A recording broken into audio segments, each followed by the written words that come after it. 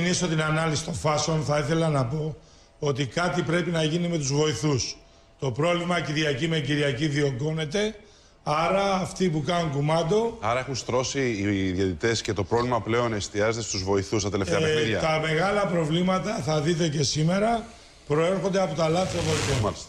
Εντάξει, συνηθίζουν να παίζουν με λίμπερο πολλές ομάδες. Που κάθονται απλά λίγο Λοιπόν, εσωτερικά. ε, Από την άλλη, βλέπουμε και κάτι που νομίζω ότι αξίζει να το επισημάνουμε. Την τελευταία εβδομάδα ο Ολυμπιακός δουλεύει πολύ καλά και με τους πλάγιους. Και νομίζω ότι πρέπει να το κρατήσουμε αυτό και για το μέλλον. Δεν είναι στο Σεμπά και το Ελεονου- Ελεονούση. Ναι, Αυτούς; ναι, όχι, δεν εννοώ αυτό. Α, εντάξει. όμως ότι είναι φάσεις δύσκολες και δεν θα πρέπει να καταδικάσουμε σε τέτοιες περιπτώσεις και τους βοηθούς. Εδώ είναι η στιγμή της επιτυχίας του τρίτου γκολ του Παναθηναϊκού. Βλέπουμε ότι ο Μολέδο τα χέρια έχουμε πει δεν μετράνε.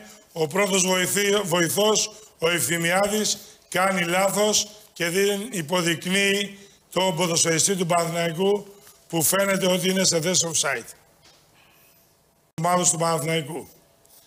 Εδώ, επίδεση της ομάδας του Παναθηναϊκού, ο δεύτερος βοηθός, ο Ποντίκης, δεν υποδεικνύει την παράβαση που ο ποδοσφαιριστής του Παναθηναϊκού, ο Μπεργκ, είναι πίσω από τον τελευταίο αμυνόμενο και έκανε λάθος και δεν έδειξε και εδώ το offside στην επίθεση του ποδοσφαιριστή του Παναθηναϊκού.